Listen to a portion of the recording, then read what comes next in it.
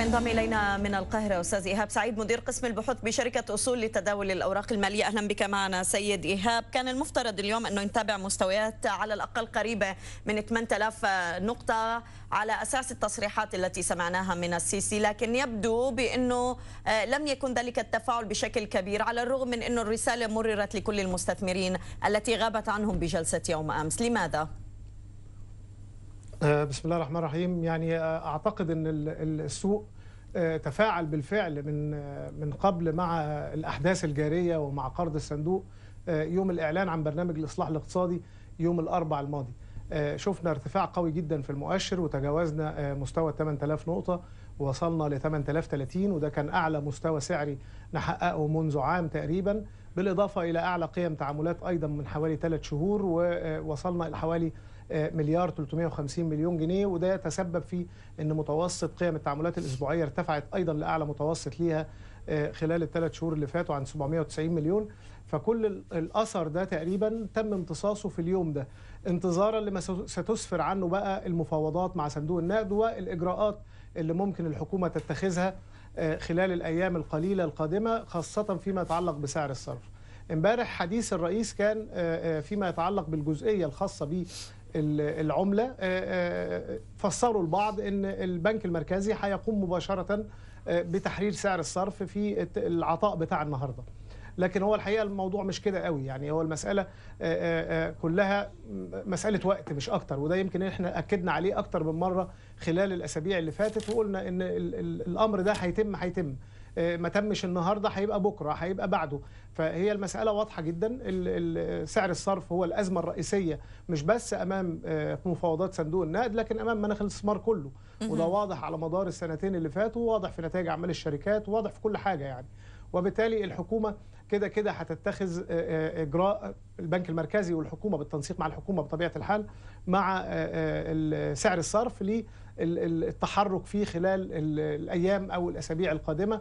وإن كنت أنا أعتقد إن هي مش هتاخد فترة كبيرة. البعض شايف إن التحرك في سعر الصرف لازم يكون فيه احتياطي نقدي مناسب علشان البنك المركزي يقدر يتحكم في السوق الموازي وما الأسعار ما تجريش في السوق الموازي بعد ما يتحرك سعر الصرف نعم. أنا الحقيقة مش مع هذا المبدأ قوي على اعتبار إن التحرك نحو القيمة العادلة للجنيه ممكن يحصل بعدها مضاربات لكنها هتكون مؤقتة طبيعي جدا زي ما حصل في 2003 لما اتحرك سعر الصرف إلى خمسة ونص حصل مضاربات في السوق الموازية وصل إلى سبعة وشوية لكن سرعان بعد ما العجلة دارت وبدأت الاستثمارات تدخل وبدأ العوائد تيجي والموارد ترجع للدولة تاني على طول بدأ يتراجع السعر في السوق الموازي إلى مستويات ال 65 5 ونص وظل عليها إلى 2011 لحد ثورة يناير. فمسألة وجود احتياطي من عدمه أعتقد إن هي مش هي الأزمة لأن حتى لو كان التخفيض غرضه إن أنا أوصل السعر اللي في السوق الموازي إلى مستوى معين وبالتالي أعود لدعم العملة مرة ثانية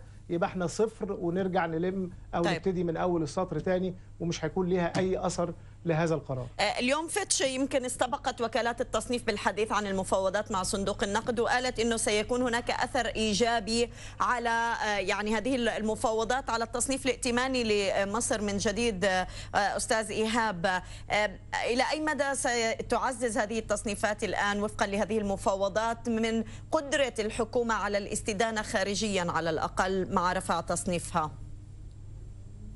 ما فيش شك بالتأكيد طبعا لأن هي الفكرة ببساطة إن الحكومة بتقدم على إصلاحات. ويعني مسألة صندوق النقد من عدمه لأن البعض يعني متوتر قوي من فكرة اللجوء للصندوق باعتبار إن ممكن يكون في اشتراطات قوية أو ما شابه.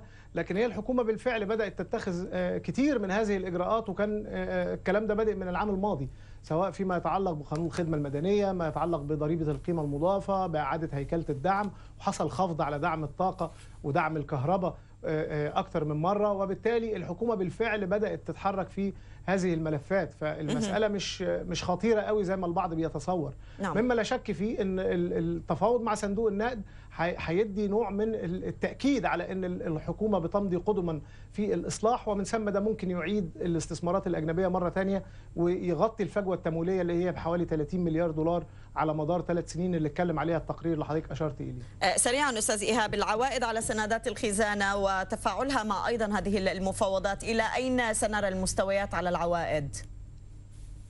يعني هي بالأمس سمعنا إن العائد على سنة اذون لمدة سنة وصلت ل 16% يمكن النهارده كان في خبر آخر إنها تراجعت على الخمس سنوات والعشر سنوات بس تراجع طفيف حوالي 10 من 100% حاجات بسيطة جدا لكن مما لا شك فيه طبعا إن الموافقة على قرض الصندوق هيشكل ضغط كبير على أسعار الفايدة. ومن ثم ده ممكن كمان يكون نجاح هذا القرض في قدرة للمركزي إنه يبتدي بعد كده يخفض أسعار الفايدة بعد ما كانت بتقارب ال 17 و18% خلال الأيام الأخيرة أو الشهور الأخيرة مع تصاعد الأزمة.